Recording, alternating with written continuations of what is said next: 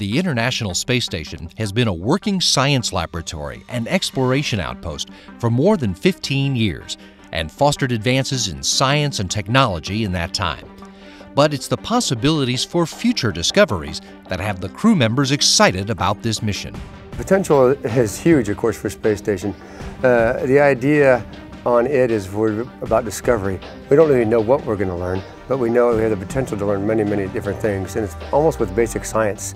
A real opportunity to do something useful, something helpful for humankind, so that humankind in the future would live better, longer, happier, that they develop, that will be more comfortable.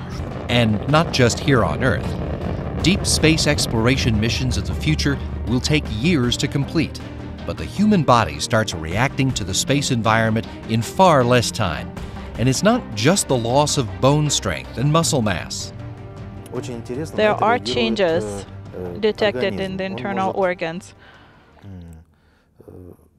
Skin reacts differently, blood reacts differently. So, this crew will take part in a number of experiments as test subjects, gathering data to quantify those physical changes while searching for their causes. They will also each have daily exercise that is proven to keep crew members strong and fit while countering some of the negative effects of zero G it gives us a unique possibility of actually doing research on how how this this condition in the bone develops and how we can uh, like think of countermeasures, how we can treat it, what medication works and what does not work. Uh, another study I signed up for is called the Sprint Physical Training, and what that's trying to do is determine is it the amount of exercise that you do or is it the intensity of the exercise? And so for sprint, every one of my workouts will go to max intensity. To see if one or the other is more valuable. Some research focuses on the psychological effects of long term isolation on the individual as well as on the group the better they work together, the better uh, the team they are, the more results and the more advantages we gain from that flight. It is a the psychological environment uh, in the crew is a very important component of a successful flight. The effects of being in space aren't just felt by the human bodies that are there. Station Science is investigating other impacts that must be dealt with to support future exploration.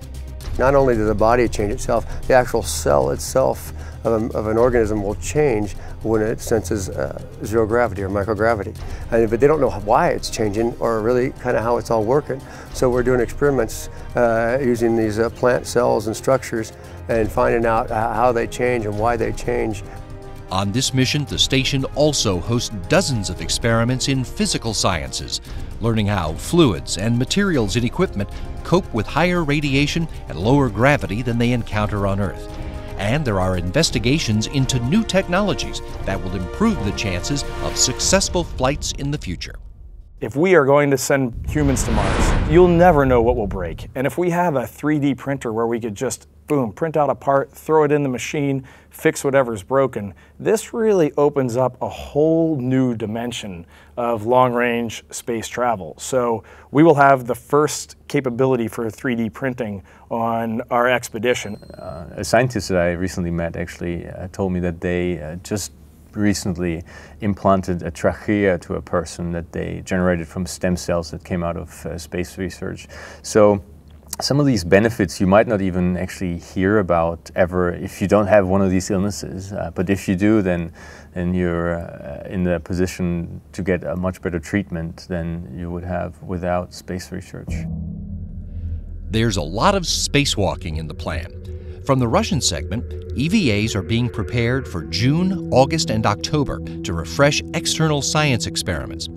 And there are three U.S. spacewalks in the plan for the summer to begin configuring the station for its extended mission on orbit.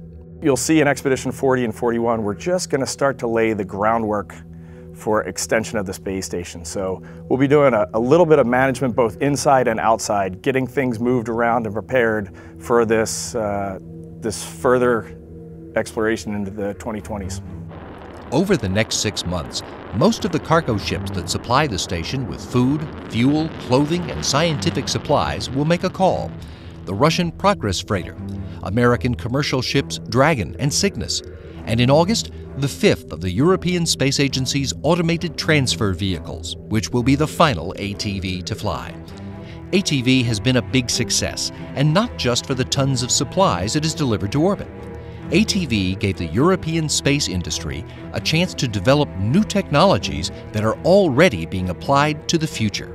The technologies that we use for ATV are actually being used for the future vehicles. So uh, the service module of the MPCV Orion module that NASA builds uh, uh, will be actually an ESA development that is based on the ATV uh, technology. Expedition 40 ends when Swanson and his Russian crewmates head for home in early September.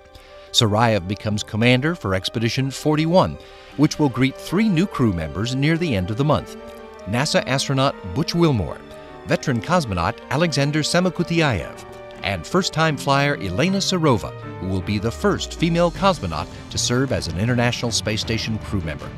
That group will press ahead with the ongoing mission of the international partners. Really just looking at getting the space station into its best possible configuration for extension into 2024 and really starting to lay some of the groundwork for bringing up commercial crew vehicles to the American segment here in, in the next few years.